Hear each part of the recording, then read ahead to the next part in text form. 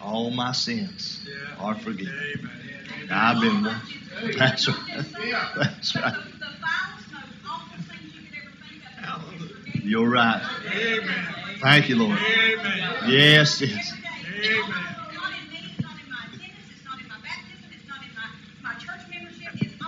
You're right. Amen.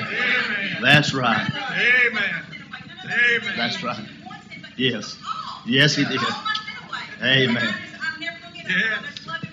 Amen. Thank you, Lord. Amen. Amen. Yes, thank you, Lord. Revelation 22:13. I'm Alpha and Omega, the beginning and the end, and the first and the um, end. Matthew 5:17 I think not that I am come to destroy the law or the prophets I am not to come to destroy but to fulfill.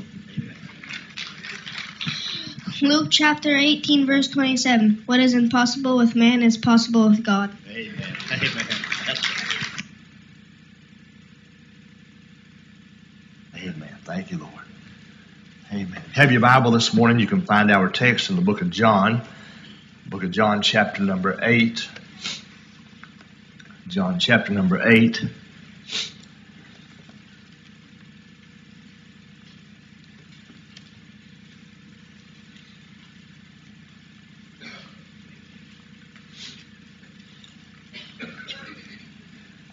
Once you find your place in the book of John, chapter number 8, if you're willing and able to stand for the reading of God's Word, I want to share with you a few verses this morning, beginning in verse number 31.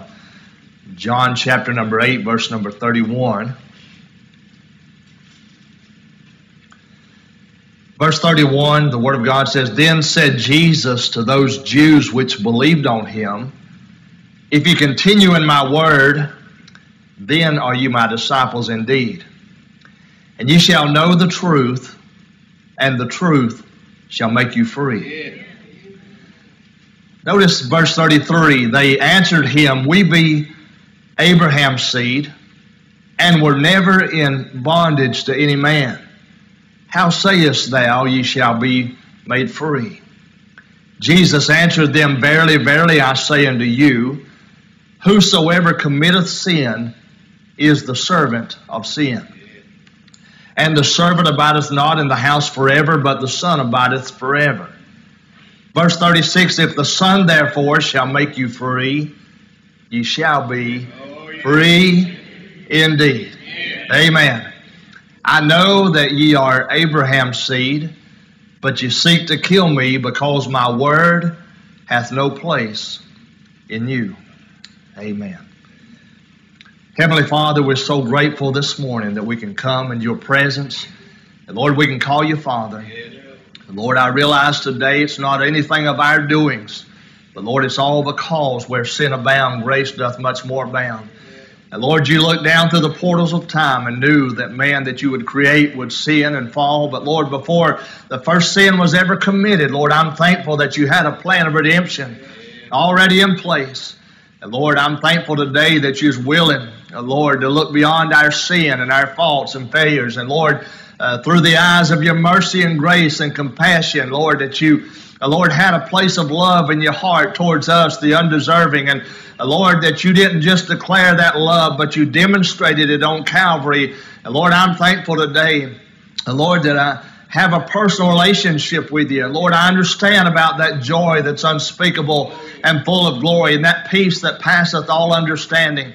Lord, if there's one here this morning that doesn't know you as personal Savior, Lord, there might be somebody here today that's been faithful, uh, Lord, to go through the religious works and motions, but Lord, never understood the difference between religion and relationship. Lord, I pray this will be the day that you'd speak to that heart and open those blinded eyes and birth them into your family. Uh, Lord, I'm thankful today that you are our hope. Lord, you're all our hope. And Lord, I praise you. Lord, I pray in these next few moments that you'd give us special, special liberty from heaven.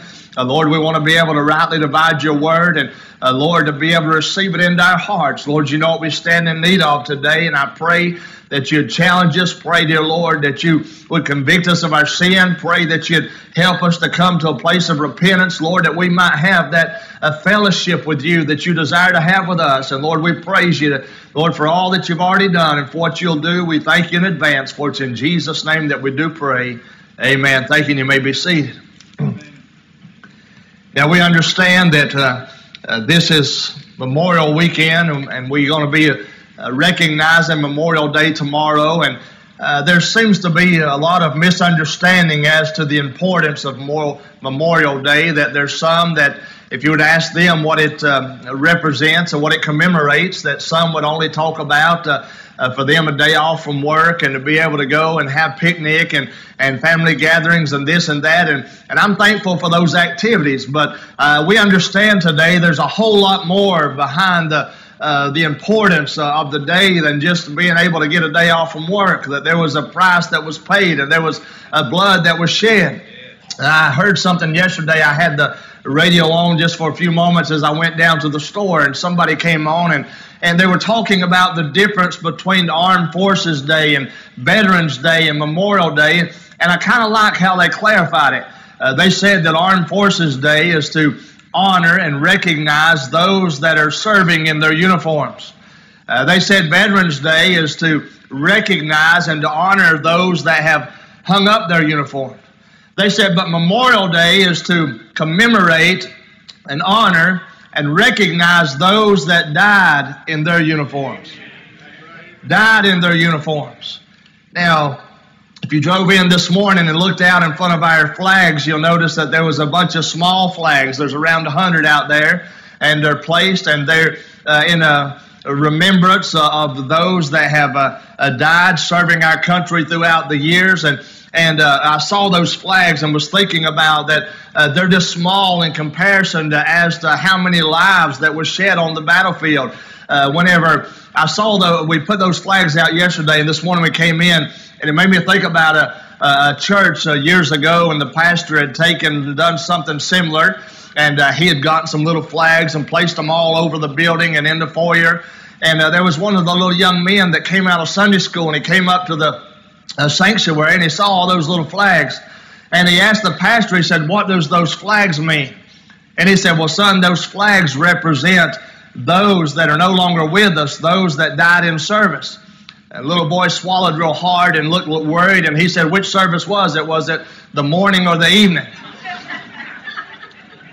but we understand today that there's those that died in their service those that died in their service to serving this country and this nation. There's those that's died in service serving our Lord and Savior Jesus Christ as martyrs.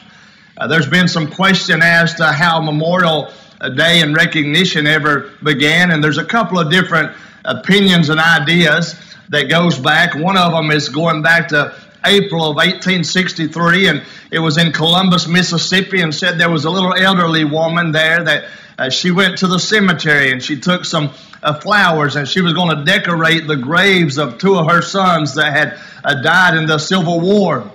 After she had placed them on their graves, that she walked over to the backside of the cemetery across the hill uh, down in the bottom corner and there was two mounds of dirt down there with no kind of grave markers or anything on it and she began to decorate those graves as well uh, somebody that observed for a distance came up and they said, ma'am, said, uh, don't you know that uh, those uh, uh, graves that you're decorating are those of the uh, Union soldiers? and she said, I understand that. And she said, I know that my son were my sons were Confederates. She said, but I understand that somewhere up north that there perhaps is a mother uh, or a wife uh, uh, or a family that's grieving over the loss of theirs just like we are ours. Can I tell you that every life today has value and every person today is important. And regardless of whether you live in the north or whether you live in the south or whether you live in this side of the world or this side of the world, that every single individual has value to God. And He laid down His life and shed His blood, not willing that any should perish, but that all should come to a place of repentance. And Lord, help us if we ever come to a place to where we fail to have compassion in our heart, and not just towards those that we care about, but we ought to have compassion even for our enemies and pray that God would deliver them and God would save them. Whenever we think about the other side of this, it said that placing flowers on the graves is something that started in May the 5th, 1866 in Waterloo, New York, and uh, later on became a common practice in uh, May of 30th, uh, 1868. And, and uh, we don't know, maybe those things work together. but we do know today that there was many that was willing to make the ultimate sacrifice, and we uh, want to remember and honor that uh, that sacrifice that was made. Now, what really bothers me and upsets me is in a land where we have so much freedom and so much liberty. Uh, there so seems to be uh, so many that are ungrateful for the liberties that we have. I'm going to tell you, they may not seem to have value to some today, but you let those liberties be taken away, and you'll realize just how blessed we've been. And it didn't come without a price, it didn't come without a payment being made. Uh, I have that patriotic heart, and I'm dis- uh, I'm disappointed with some of the things I see happening in our nation. And I'm upset today over a sin that's being paraded around and being uh, praised and applauded when I know it goes against God's word and against God's will. Uh, it upsets me to see uh, things going downhill spiritually and, and all the apostasy that's happening. But even in midst of all the wickedness that's going on, I can still say, thank God, I'm still proud and thankful to God that I'm an American. I've been to some of these other places, and, and we're no better than nobody, but I'll tell you this, we're better off than a whole lot of people. Uh, there's many that would give anything to have the freedoms and the liberties that we've been given today. And to see somebody get on national television and to uh, degrade the flag and burn it in public view, and, and those that have no regard for the price that was paid and, and the people who paid the price, I tell you, it breaks my heart. And I think, how in the world could you be so blinded? And how in the world could you be so uh, so, uh, so uh, ups? And I, I, said, I said this many times. Some of those folk that don't have a love for our country, if they would have taken take them somewhere else for a few months and bring them back, I think they would have a different opinion. I've always wondered this if you have such a hatred for the place that you live and the people that you live around, why don't you just move? Amen? Why make it miserable for everybody else? Now, that's not the message this morning. I gave that to you for free. Amen. That's just my opinion. That's not to thus saith the Lord. That's my opinion. But uh, I came across something here a while back, and I was looking it over, and I don't know how reliable it is that I run and did some studies myself but I had wondered throughout the years what kind of number of people that died in uh, in war uh, serving this country, and I looked at different different websites and Google searches, and and I came up with all different type of numbers. So I'm sure this morning that my numbers may be either higher, they may be low, but just to give you a little bit of idea, that said during the Revolutionary War, approximately 33,000 died. During the War of 1812, uh, 7,000. The Mexican War, 13,000. The Civil War, somewhere around 900,000. Spanish American, 4,000. Uh, the uh, First World War was about 320,000. The second being somewhere near, uh, near a million.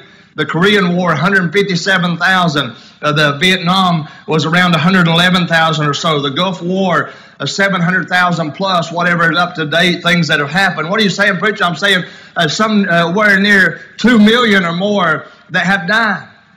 And for us to ever uh, look over that and, and it not have an impact upon us uh, means that we don't understand the importance of the price that they paid.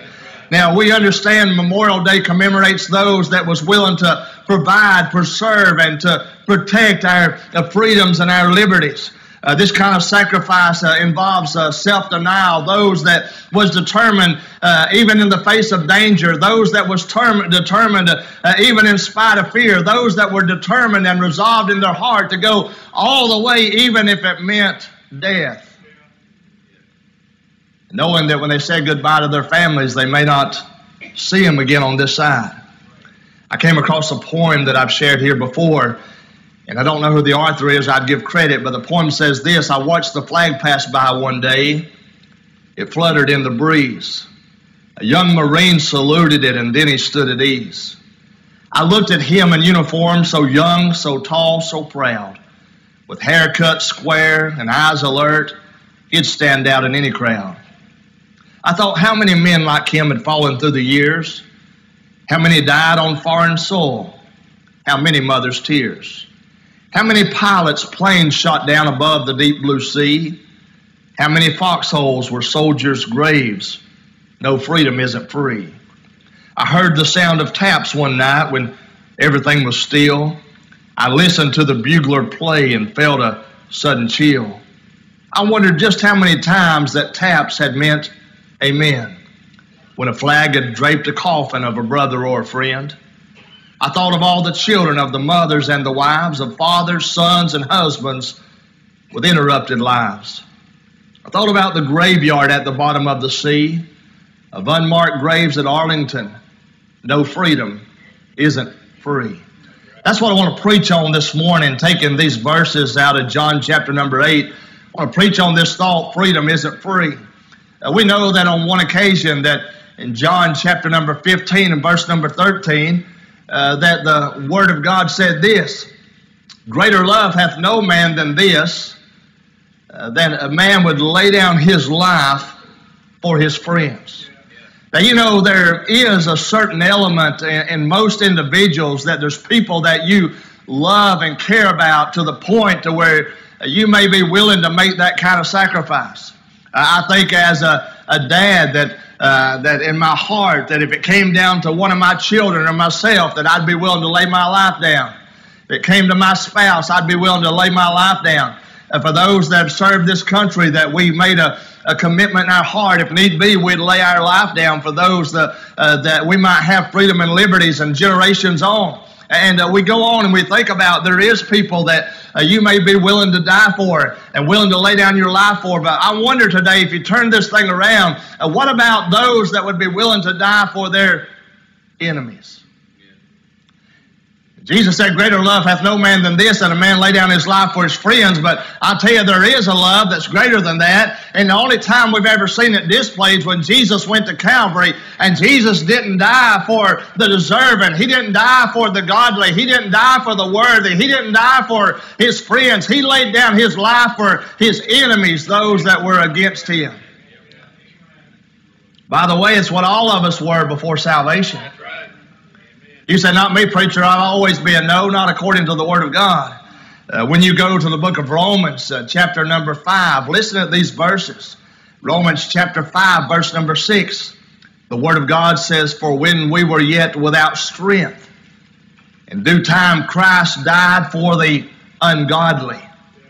For scarcely for a righteous man will one die, yet peradventure for a good man some would even dare to die. But God commendeth his love toward us, in that while we were yet sinners, Christ died for us. Much more than being now justified by his blood, we shall be saved from wrath through him. For if when we were enemies, we were reconciled to God by the death of his Son, much more being reconciled, we shall be saved by his life. And not only so, but we also joy in God through our Lord Jesus Christ, by whom we have now received the atonement. I say, praise the Lord. I thank God for the atonement that's been received. But when you look at these verses, verse number six says we were without strength. You know what that means? It means we was helpless and hopeless we was in a situation that needed to be changed. We was in a situation in which we needed deliverance. We was in a situation to where we needed victory, but we were without strength to do anything to make any type of difference. What are you saying, preacher? I'm saying we couldn't redeem ourselves.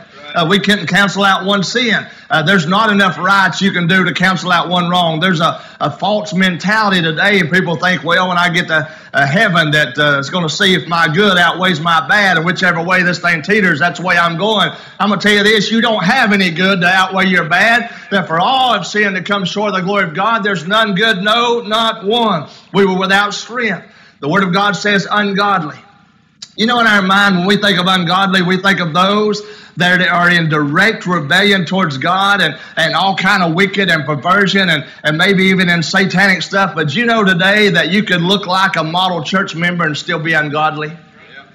What are you saying, preacher? I'm saying you can have your name on the roll of the church. You can sing in the choir whenever time they uh, come up to the choir loft. You can give your tithes and offerings. You can uh, support missions. Uh, uh you can pray. Uh, you can even share the gospel. But yet, if you don't know Jesus Christ as your Lord and Savior, uh, you're classified by the Word of God as being ungodly. You know why? Because ungodly means to be without God. and it means to be without Christ. And I'll tell you this, I was an ungodly church member. I grew up in church, was always there, but one Sunday morning, thank the Lord, uh, Him not being willing that any should perish, dealt with my heart and saved me. And thank God I was birthed into His family. I might not look like much today, but I'll tell you this, thank God I'm not without Him, that He lives within me. And He said, I'll never leave thee nor forsake thee, and lo, I'll be with thee always, even until the end of the world. I'm glad today, praise God, I've been birthed into His family. Amen. The Word of God says we were sinners in verse number 8. The word sinner here comes from the Greek word which means to miss the mark. That's our Bible school theme this year. Uh, we've got some archery set up and we've got some uh, targets set up. And the idea is this it don't matter how good you are, that we're all going to miss the mark. Why? Because the mark is not religion. The mark is not turning over a new leaf. The mark is not about quitting this and starting that. The mark is the righteousness of Jesus Christ, a life that's without sin, a life that's perfect, and none of us ever could live that kind of life. Uh, that's why Jesus came and died for us and shed his blood and made atonement. And thank God we've been reconciled. He took sinful man by the one hand and he took holy righteous Father by the other. And he reconciled us and brought us together in him through his death on Calvary's cross. I tell you this morning, I'm thankful today that I've been reconciled with him. But we were sinners by nature that every single one of us had come short of the glory of God. Did you know that there'll never, ever, ever be anybody in heaven because of their own goodness and righteousness? You and I know that, but yet you witness and people say, Well, I've been a good person. Well, the Bible says there's none good, there's none righteous. For our very best is uh, as filthy rags in the uh, sight of God. Uh, that for by grace are you saved through faith and that not of yourselves, for it is a gift of God, not of works, lest any man should boast. But then we look on down in verse number 10, and the Word of God says, For if when we were enemies, uh, the word enemy here, you know what that is? The one that is opposed. That we were opposed to God. We were uh, we had a master, but our master was uh, Satan himself. When you think about uh, over in the book of Ephesians, chapter number two, where the Apostle Paul shows us a picture of the before and after salvation. Ephesians chapter 2, and you hath he quickened who were dead in trespasses and sins. By the way, did you know a dead person cannot do anything to revive themselves? Not one thing. When Lazarus had died and they put him there uh, in the tomb and they put that stone uh, and uh, Mary and Martha was upset and Jesus came and he said, where have you laid him? And they said, uh, come and see. And he told them to take away the stone and they said, uh, Lord, he stinketh by now. But nevertheless, they did that, and they, uh, you know what? I thought about this. Lazarus couldn't do one thing to change his situation. His sisters loved him, no doubt loved him as much as you can love somebody, but they couldn't change the situation. But Jesus came on the scene and he said, I am the resurrection and the life. Uh, uh, he that believeth in me, though he were dead, yet shall he live. Believeth thou this? Uh, we know, Lord, but he said, No. He said, I am the resurrection and the life. I tell you this, not only was he resurrected and, and has life, but thank God because of his death, burial, and resurrection, he said, I give unto you eternal life, and you shall never perish. For God so loved the world that he gave his only begotten Son, that whosoever believeth in him should not perish, but have everlasting life. You said, Preacher, how long is this thing going to last? Forever and ever and ever. You know what save means? Save means to be rescued from all harm and danger. If I was still in danger and still in harm, then I wouldn't be saved. But thank God I've been saved to the uttermost, and I know that I am. My blood's been washed in the precious blood of the spotless Lamb. I'm thankful today that I've been given eternal life, and the Lord Jesus said, "And ye shall never perish." Matter of fact, I'm not going to die. I'm going to lay this old body down one day, but thank God to be absent from the bodies to be present with the Lord. Don't ever say, well, a pastor, he's no longer with us. He died. No. The Apostle Paul said, for me to live is Christ and to die is gain. Amen. But I, I think about, you know what's so sad today? Is uh, there's many that lives in the land of the free and understand the freedoms that we have as Americans, but yet never have experienced true freedom and liberty in their own lives. Did you know it's possible today that somebody could live in the land of the free and still be in bondage? As a matter of fact, I, I, thought about, I'm glad, thank the Lord, we can assemble today. I thank God that we can come and, and preach and pray and worship and testify and witness. And, and we can do that not only in here, but we can do it out in this world. But yet, even though we have those kind of freedoms and liberties, there's a whole lot of people today that may be free socially, but they are bound spiritually. Do you know that's what these verses are dealing with this morning that I read earlier? Let's go back to John chapter number 8 and look a little bit further in the text. Verse number 33, we find uh, that uh, Jesus spoke to a group of Jews and he talked to them about freedom. He talked about the truth that would make them free. Now, here's the problem with these Jews that he dealt with is they didn't think they needed any type of freedom. They didn't think they needed any type of savior. They didn't think they needed a deliverer. Why? Because they thought they were already free. You know what they said? They said, verse number 33, they answered him, We be, uh, we be Abraham's seed, and were never in bondage to any man. How sayest thou, ye shall be made free? Now, the Lord Jesus answered them, and we find in verse number 34, he said, Verily, verily, I say unto you, that whosoever committeth sin is the servant of sin. Jesus talking about some spiritual things here, and he said, if you've ever committed a sin, that you're not free. You're a sinner, and not only you're a sinner, but you're a servant to sin, uh, you're a slave to sin, uh, you're a slave to self, uh, you're a slave to Satan, and he says, it don't matter if you're of Abraham or not, that ye must be born again. You need a deliverer, you need a savior, you need a redeemer. Jesus begins to make it clear in verse number 36 if the Son therefore shall make you free, you shall be free indeed. Now, when we look at this passage of Scripture, there's a few thoughts right quick. And first of all, we think about the source of our freedom. Verse number 32 that Jesus said, And ye shall know the truth, and the truth shall make you free.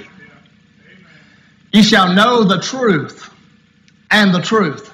Now, first of all, we got to determine what is this truth that Jesus is talking about.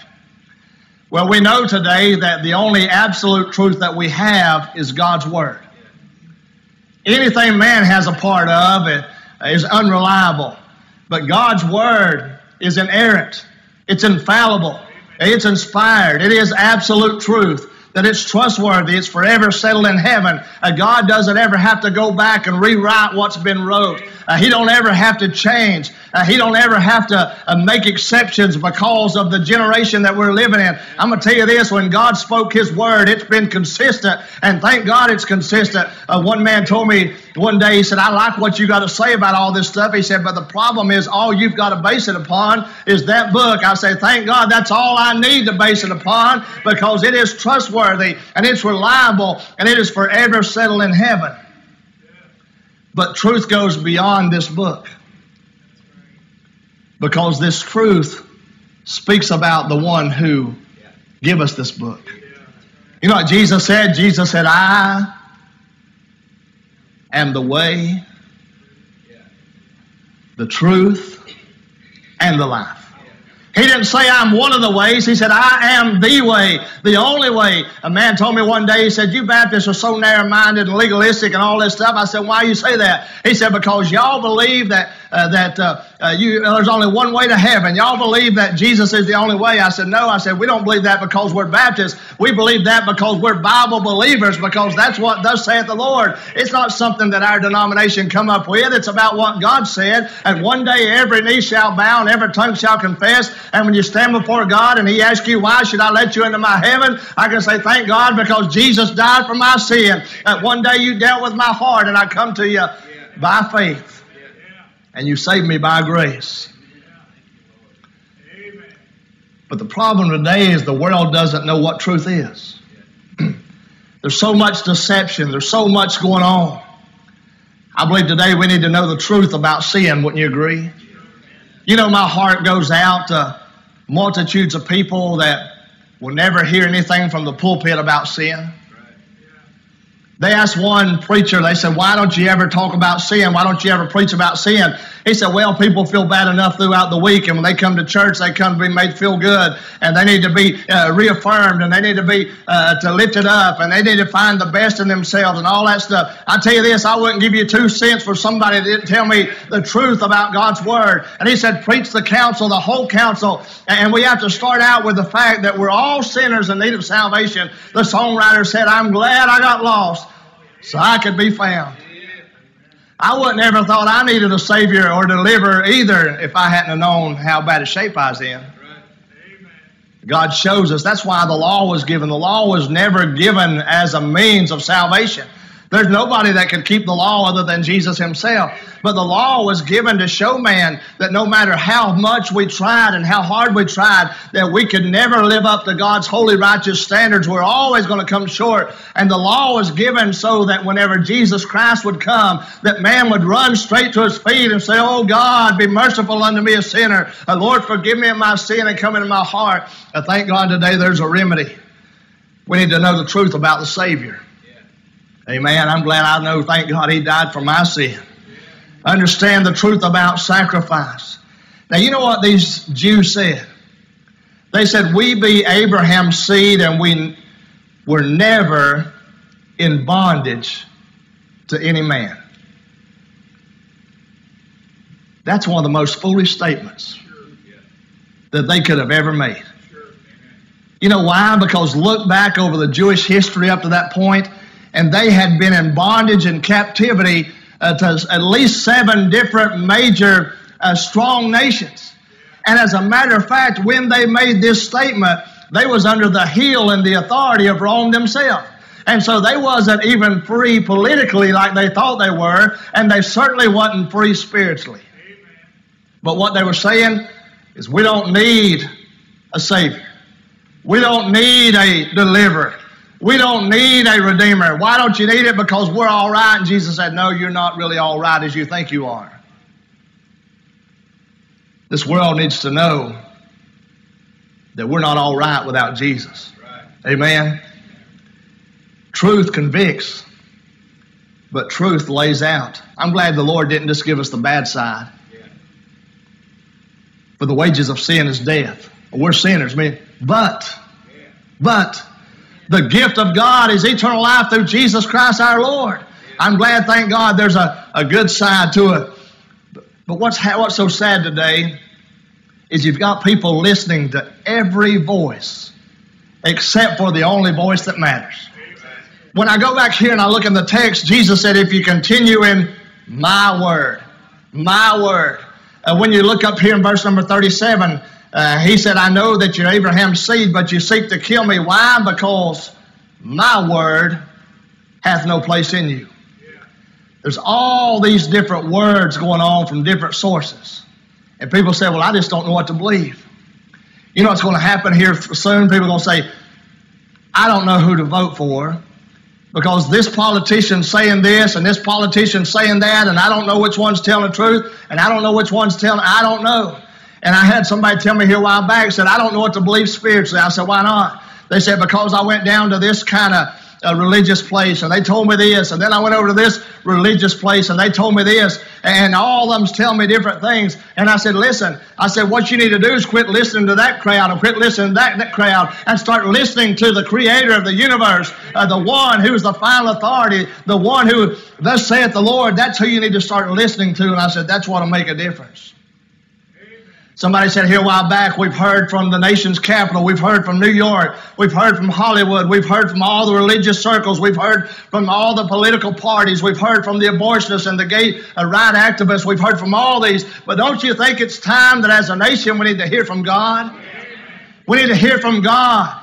And not only hear from God, but to heed His word. By the, by the way, He said, Ye shall know the truth, and the truth shall make you free. Did you know when he said no, he wasn't talking about an intellectual head knowledge? He said, You're gonna you need to know the truth in your heart. There's a difference today between knowing about Jesus and knowing Jesus. Some say, well, I've always been a believer. Well, so has the devil and the demons. But there's a difference between knowing about him and knowing him as your personal Savior. I don't just know about the truth. Thank God I say I know the truth.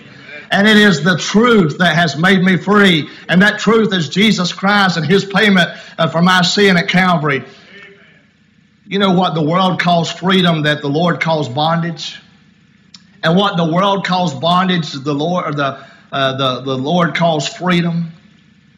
We need truth. And I'm not trying to pick on one particular sin, but I just want to tell you something that happened uh, just the other day. I got on my phone one of those Google calendars. Some of you got that, it came with it. And I use it now. I didn't used to know how to use it, but I use it. And I start going in there and putting in dates and all that stuff. And I was looking at the month of June, and I said, My goodness, the month of June is slam packed full. So many things going on, which is good. But I started, and I said, I have to be careful before I make any other kind of commitments because I've got dates, overlapping dates, and all this stuff. And I started looking, and I noticed that on June the 1st, there was a date marked, and I thought, now, wait a minute, that's strange. I don't remember marking anything on my calendar for June the 1st. So I clicked on it. And I wished I hadn't because it made me sick to my stomach. You know why? Because it was reminding me that June the 1st was the beginning of our Gay Pride Month. As I said, I'm not picking on anyone's sin, but I'm going to use this one as an example. Did you know over the years, they've been rallies over this issue? They've marched the streets and flooded, and, and really the message is simple is we want our freedoms like everybody else. We want our liberties like everybody else. We want to be able to get married like everybody else. We want the world to acknowledge our marriage like everybody else. We want this, we want that. Really, what they're saying is we want our freedoms and liberties because we live in the land of the free and the liberty. But Jesus said you can get all that, but you're going to be in greater bondage than you have ever been. You think this brings about liberty, but it don't. It brings about bondage. And by the way, he didn't say that about that particular sin. Uh, when you read on down, he said, Whosoever committeth sin is the servant of sin. That every single sin, every type of sin, no matter how, whether you think it's big or small, no matter what it is, that all sin brings about bondage that we need to be liberated from. There's the source of our freedom. That's Jesus Himself. There's the scope of our freedom. Verse number 36, He said, If the Son therefore shall make you free, you shall be free indeed. I like that. He didn't just say free, He said, but free indeed. You know what that means? It means, thank God, no more bondage. Servants of sin means prisoners, those that are in bondage. You know, one time, at one time, that's what I was. And at one time, that's what you were. And if you're not saved today, that's what you are. But thank God today there's a, a, a plan of God of redemption that you can turn to Him, repent of that sin. And if you confess that sin, He's faithful and just to forgive you your sin and cleanse you of all. But we say, Preacher, what have we been delivered from? First of all, I can say, Thank God I've been delivered from the wrath to come. You say, where do you get that at? Well, over in the book of Romans, I read it earlier, uh, but I'll read it again right quick in Romans chapter number 5 and we look down, and the Word of God says, much more than being now justified. The word justified means justified, never sin. How was I justified? It says, being now justified by His blood, we shall be saved from wrath through Him. Uh, the book of Ephesians talked about that we were by nature children of wrath, even as others. But I say, thank God that I've been delivered from the wrath of God that is to come. Uh, I say, thank God I've been delivered from condemnation.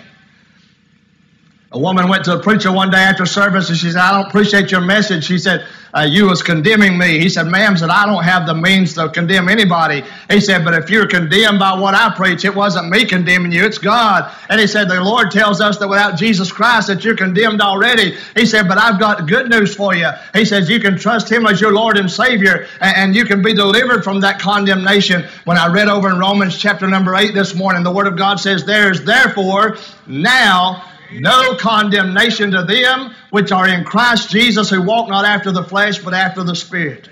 I thank God I've been delivered from death and hell. Amen. Uh, when I read over in John chapter number 5 uh, and in verse number 24 that Jesus said, Verily, verily, I say unto you, he that heareth my word and believeth on him that sent me hath everlasting life and shall not come into condemnation, but is passed from death unto life. And you and ye hath he quickened who was dead and trespassed. Thank God I passed from death to life. I said the other day I've got one birthday I can't remember, and thank God I've got one I'll never forget. We've been delivered from the power of sin, are being delivered in Romans chapter 6, and the power of Satan and, and First Peter. Uh, but listen to this, I'm going to close with this. There's a source of freedom, that's Jesus who is the truth. Uh, there is the scope of our freedom. We shall be free indeed. But there's the sacrifice of our freedom. Did you know today that no freedom came without a price? Nothing's free. Everything costs somebody something. When you think about today, the liberty that we have as Americans, somebody paid that price. When you think about the liberty that we have as Christians, you can go back and look at the millions that were martyred, that took the and uh, the bloodstained banner and marched out into the face of, of opposition and said, uh, "The Lord giveth, the Lord taketh. Blessed be the name of the Lord. That He's never denied me, and I'm not going to deny Him." And we read about Fox Book of Martyrs and all that. There's those that paid the price. But you know that all that freedom was bloodly and costly, but it pales in comparison to our spiritual freedom. Spiritual freedom is really what matters. Because those today that have any other kind of bondage that one day going to be delivered from that bondage. But I'll tell you this, thank God for the spiritual freedom. The spiritual freedom that we have today came with a high price tag. But God commendeth his love toward us in that while we were yet sinners, that Christ died for us. You know what's sad today is many are like these Jews that Jesus talked to. They said, Oh, we're of our father Abraham. We've never been in bondage to any man. We've always been good. We, are doing just fine. We don't need. If we ever need you, we'll call you. We'll let you know. But as of right now, we're okay. And Jesus said, You're not okay. He said, Because you're a servant and a slave to sin. And he said, You seek to kill me. He said, Why? Because my words are not in you. I'm going to tell you today if you don't know what salvation is about, you can come this altar this morning and call on the name of Jesus. And you can go home with a freedom and a liberty that you'll never, ever, ever experience outside of salvation. I would try to explain it to you, but it's too good. I don't know how to explain it. You're just going to have to find out for yourself. But there's a joy that's unspeakable and full of glory. And there's a peace that passeth all understanding. You know what I can do? I can go home at night and lay my head on my pillow and go to sleep and rest just fine. You said, What if this happens? Well, God's still in control. What if this happens? Well, God's still in control. What if something happens and, and you lose your life? Well, thank God I've got a, a greater day ahead of me. There's no way that a child of God can ever lose, that we're not just conquerors, we're more than conquerors through Him that loved us and Him that still loves us. We're not on the winning side. We're on the side that has already been declared the victory. And I say, thank God, victory in Jesus. Amen. It's all in Jesus. Everything we read this morning was through Him, by Him, in Him. It's all goes back to Him. It all comes down to what you do with Jesus Christ, whether you accept, accept Him or reject Him.